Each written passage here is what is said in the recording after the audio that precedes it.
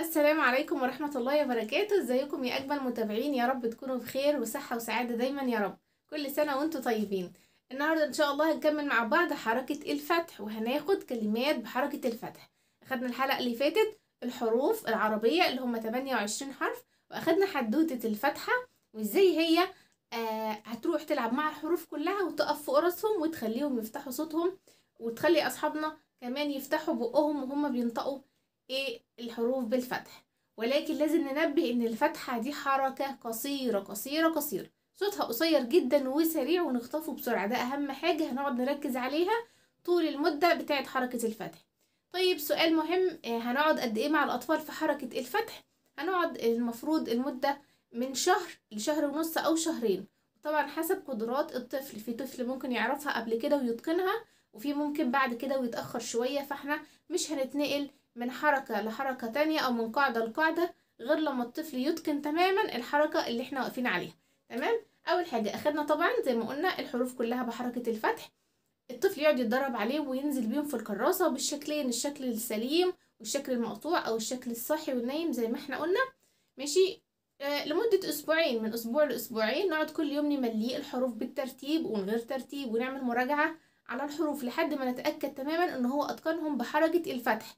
يعني همليه هقول الصوت بس هقول له اكتب س ج أ را واشوف هو بقى هيكتبها إزاي بالظبط.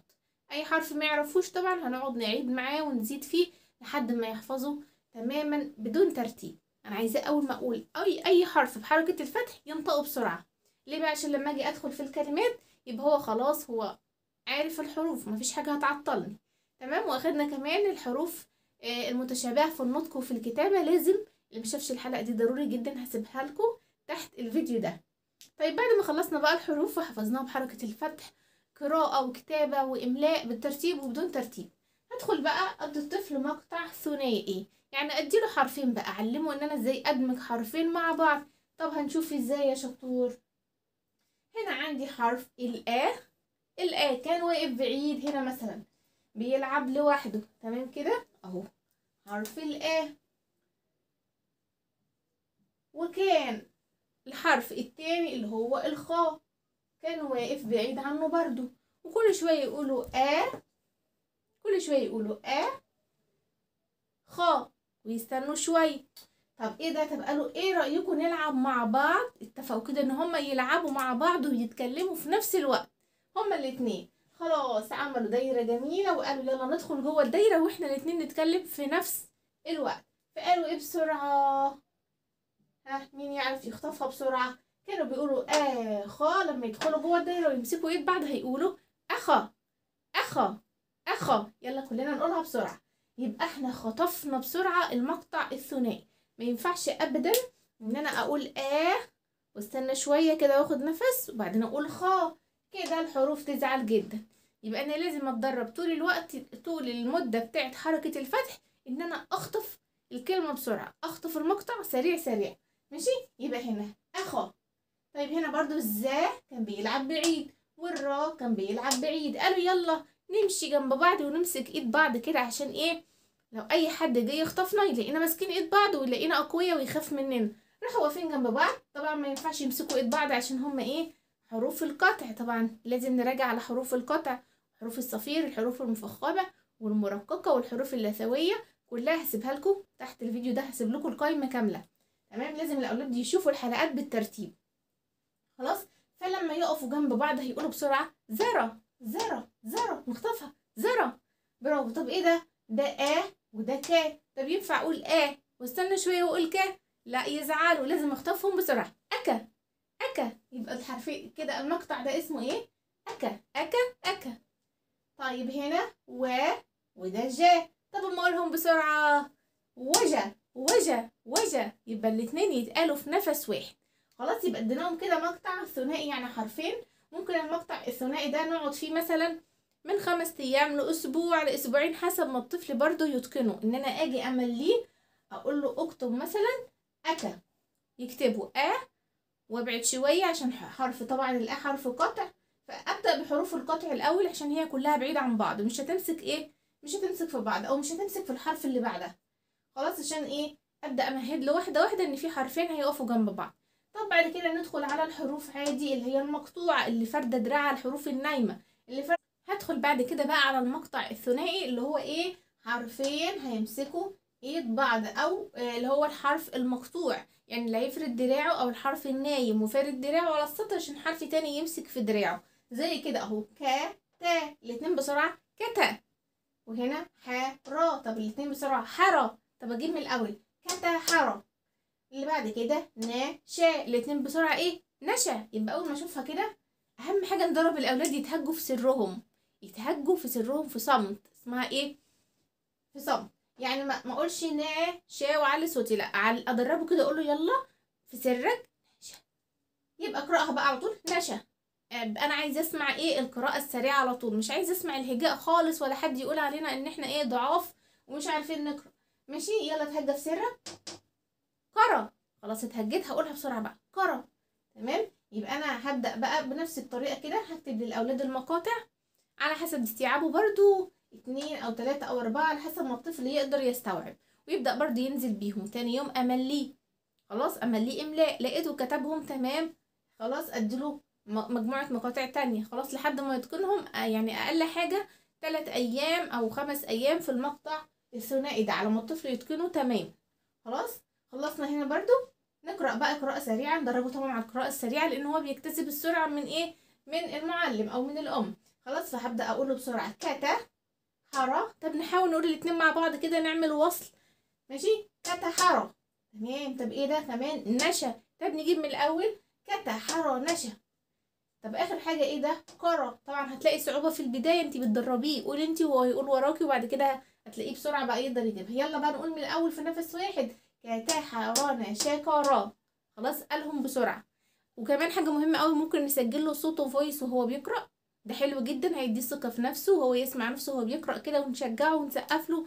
وبرافو حاجات حلوة كتير كده طبعا هتخليه إيه يحب القراءة. ونشتري كتاب نور البيان أو معلم القراءة أي كتاب عشان نلاقي فيه كلمات كتيرة قوي نقدر نستعين بيها. آه، وإحنا إيه بندرب الأولاد على حركة الفتح بحيث إن هو كل يوم لازم يقرأ ويتملى.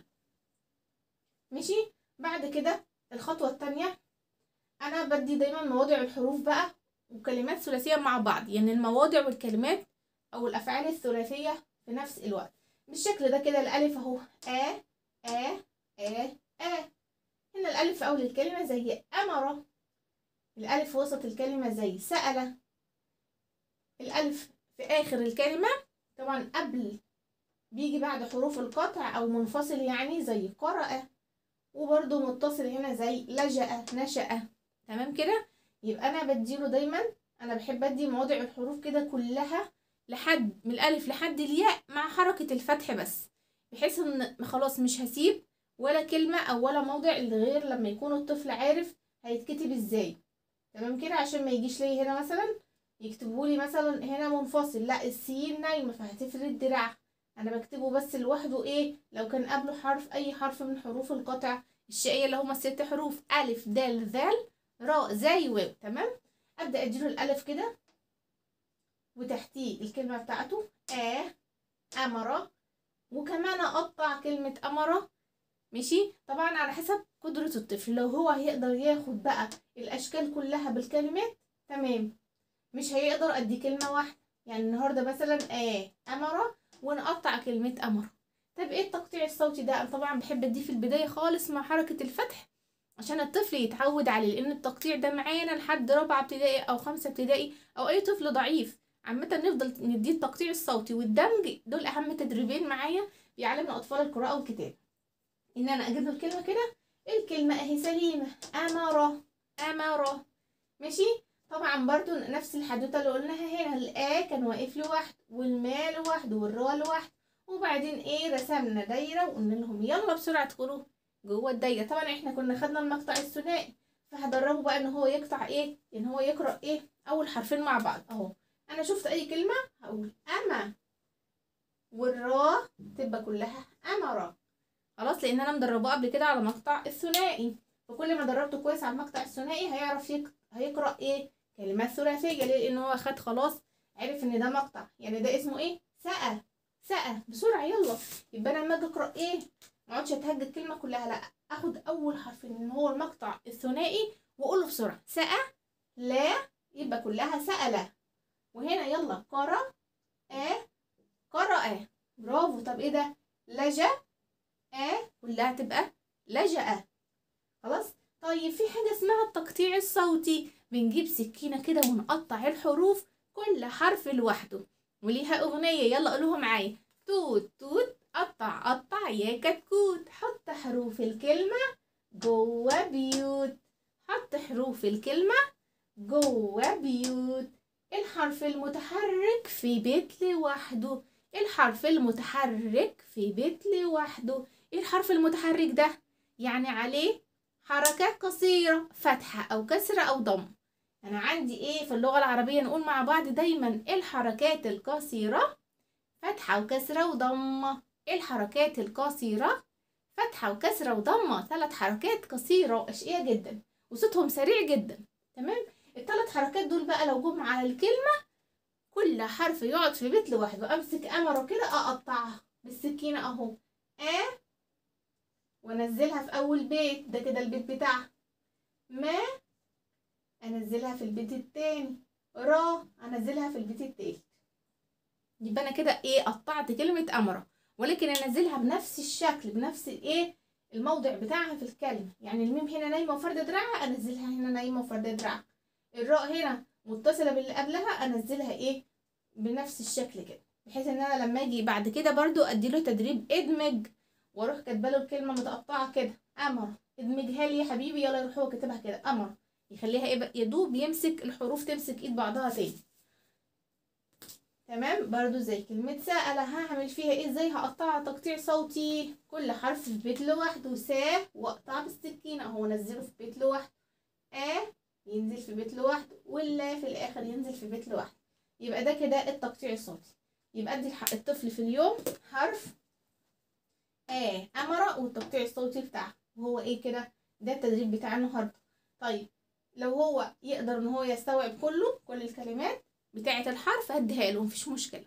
تمام؟ أهم حاجة بس طول الوقت مراجعة على القديم مراجعة على الحروف مجموعة مجموعات الحروف المختلفة اللثوية زي ما قلنا المفخمة المرققة حروف القطع حروف الصفير الكلام ده كله لازم الطفل يراجع عليه يوميا وباستمرار. خلاص؟ طيب تاني يوم يلا. با با با با مش تاني يوم بقى مباشرة لا لما يتقن الألف. تمام كده؟ لما يتقن الألف همزة. بالكلمات بتاعتها سواء في أول الكلمة وسط الكلمة آخر الكلمة. طبعا بقى هقعد أديله إملاء برضو على كلمات إحنا ما كتبناهاش. يعني أنا تاني يوم همليه الكلمات دي وممكن بقى أديله كلمة زي نشأ. ما هي زي لجأ. بالظبط لو هو فهم موضع الحرف هنا في آخر الكلمة إن هو هيتصل باللي قبله. لأن اللي قبله إيه؟ من حروف النايمة أو من حروف المقطوعة. فلازم الألف همزة هنا هيمسك في الجيم. برضه هقول له نشأ. برضه لازم الألف همزه يمسك في الشين هيبقى بنفس الشكل ده. تمام؟ هديله ربأ برضه بنفس الطريقة. خلاص هديله اخذ آه الألف جاية في الأول وعليها فتحة يبقى أعملها على كرسي الايه الألف الطويل ده. يبقى أنا هقيس إن هو استوعب الفكرة إزاي؟ إن أنا هجيب له بقى كلمات تانية إضافية ما خدهاش ما اتدربش عليها. فقيس هو فهم وأتقن تماما النقطة دي ولا لأ؟ خلاص طبعا زي ما قلنا هنلاقي كلمات كتيرة أهو في كتاب إيه؟ زي مثلا زي مثلا أهو كتاب نور البيان كلنا نشتريه حلو جدا وهتلاقوا فيه كلمات كتيرة جدا أهو بالشكل ده. خلاص؟ أهو. هنقدر ده هو كمان ماشي بترتيب بنفس الترتيب هو يبدأ الأول بحركة الفتح. لما نتقن حركة الفتح نتنقل على اللي بعدها. إنما ما ينفعش أخد فتح وكسر وضم وسكون الطفل مش هيستوعب كل ده وهيتشتت وهيبقى ضعيف وهنرجع نعيد معاه من الأول تاني. قاعدة قاعدة. تمام؟ خلصنا بقى مواضع الحروف كلها لحد من الألف لحد الياء. خلاص هنعمل إيه تاني؟ هنا برضه أهو حرف الباء زي إيه؟ باء بطا بطا قلت هخطف أول حرفين مع بعض. لما أجي ادرب الطفل يقرأ أي كلمة ثلاثية هقول له إيه؟ ها إحنا أخدنا المقطع الثنائي يلا بطا شا بطشا نبا تا نبتا كتا اعمل له كده سهم تحت الحرفين الايه الأول والتاني دايما كده. اعمل له زي طبق كده. كتا با كتب شرب. با شرب. خلاص؟ وبرضه اديله التقطيع بتاع كل كلمة. أدربه دايما كل يوم على التقطيع. برضو أحاول إن أنا أعمل لكم برضو حلقة عن التدريبات على حركة الفتح. إزاي أدي تدريبات على حركة الفتح. طيب هنا رقم ثلاثة بقى بعد ما خدنا مقطع ثنائي. كلمات ثلاثية. نبدأ ناخد جمل بقى من كلمتين أو أكتر. زي إيه مثلا؟ أكل و هدربه الأول على كلمة آه زي أكل وحرف بقى بعدها يعني أربع حروف. أكل و قرأ ف دخل دخل و. تمام كده؟ أقعد أدربه إن هو يقعد يقول إيه؟ كلمة ثلاثية وبعدها حرف. وبعدين بعد ما يفهمهم برضو كويس أديله بقى أزود له كلمة كمان. أكل وشرب دخل وجلس. قرأ وكتب. سأل فعرف. خلاص خلص الجملة. اللي هي من كلمتين أدي جملة من ثلاث كلمات. وهكذا. يبقى دلوقتي هو هيتقن حركة الفتح تماما. طالما عارف الحروف كلها بحركة الفتح وقرأها بالترتيب ومن غير ترتيب اتملاها بالترتيب ومن غير ترتيب. هوصل بقى معاه همشي معاه بنفس الترتيب كده لحد ما نوصل للجمل. من كلمتين أو من ثلاث كلمات هنلاقيه اتقنها تماما وبعدها نقدر إن إحنا نتنقل على إيه؟ حركة الكسر. أتمنى الحلقة تكون مفيدة النهاردة ليكم. ما تنسوش بقى لايك واشتراك في القناة عشان توصلكم باقي الحلقات. والسلام عليكم ورحمة الله وبركاته.